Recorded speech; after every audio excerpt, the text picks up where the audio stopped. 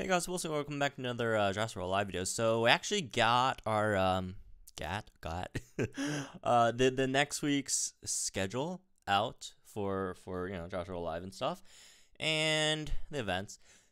It and and it's interesting, I guess. It's it's. I mean, if if you look at it, it's kind of boring.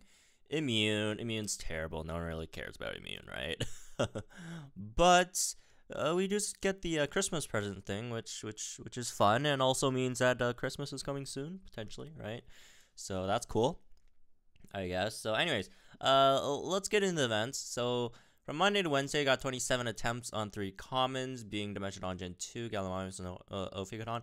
Um, none of these are really that great. I guess Dimetrodon Gen 2 is something you might want to go for just because you know Monolometrodon and then the new unique, which you probably do not need Monolometrodon DNA for, just because well, the um the Rhino DNA is just much much harder to obtain than than the freaking Dimetrodon DNA, right?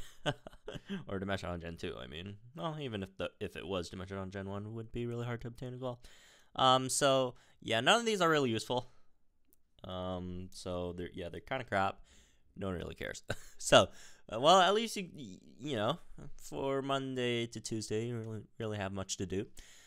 Wednesday to Friday you got Ankylocodon, Dimetrodon, and Ornithomimus. Dimetrodon's an interesting one. This one this one you got a few uses for, right? You got Magna that you could fuse for, um, as well as Tryostronix. Both are top tier dinos for sure. Magna and Tryostronix. So you know either one you want to go with, you could you could you could always use Dimetrodon DNA, right? Like when I was getting my Magna to level 30, like for the longest time, from level 21 to level 29, it's always I need irritator, I need irritator, I need irritator. but at the end, uh, at, you know, the last half of level 30, I started running out of Dimetrodon. So yeah, pr- probably want to stockpile a bit on that. And then the other one is Ornithomimus, which uh, I guess you go for as well, but Ornithomimus, eh, it's kind of everywhere always, so not that big of a deal, right? If you miss out on that, so you know it's just really hard or really easy to get Ornithomimus in this game. Um, it does make Procerathomimus, which is really strong, but also do keep in mind they are um, looking at nerfing Procerathomimus, so you know it might not be that great soon. Who knows? Anyways, moving on. Saturday and Sunday, um, got nine attempts on three epics. Uh, Secodontosaurus, Postimetrodon, and Procerathomimus. Again, Procerathomimus is a bit of a gamble here, um, because Procerathomimus is very, very good. It is you know, it's it's a top ten dino in the game, right? But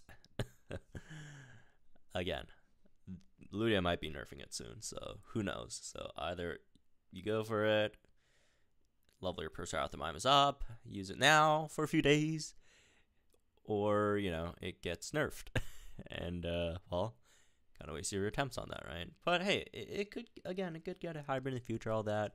So it might not be that terrible of, a, of an idea still, right? But who knows? Anyways, moving on. Postimetrodon, um, eh, eh, eh. I mean, it does make Tryostronix, but you know, again, epic hybrids aren't really that worth it unless it's like something really, really good, right? Just the regular epic hybrids like Post are not, you know, not really worth getting.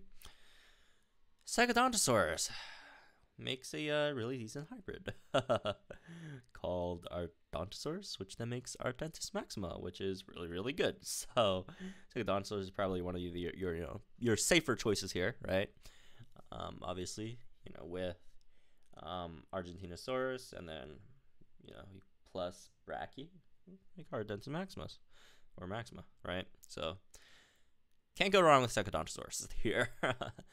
Moving on to the strike events. So strike events we have bleed, which again, and this is why next week is kind of trash in terms of the, you know, featured stuff and then the strike events.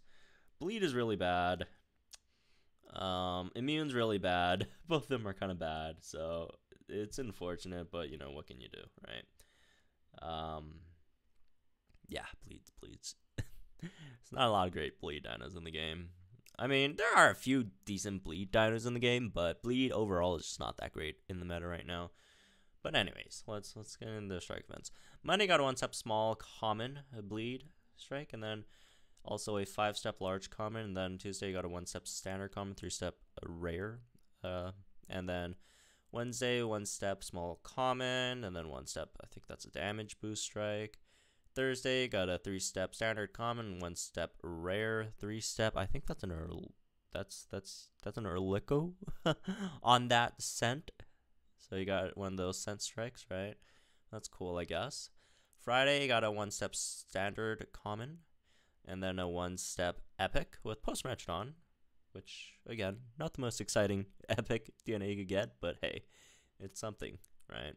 Saturday, a three step standard common, five steps, you know, a large common, and then um, another scent strike, and then Sunday one step small common, then one step uh, themed epic with the bleed theme, and then you also get treasure chases all all all week, right?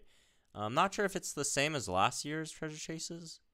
It could be, so you know, it could be pretty interesting. Get some DNA from that maybe, but then again, not 100 percent sure. So, anyways, overall, really really weak week week week, which which I which I'll take because you know uh, next week I would be very busy studying for my last final, which is also the most important final that I have.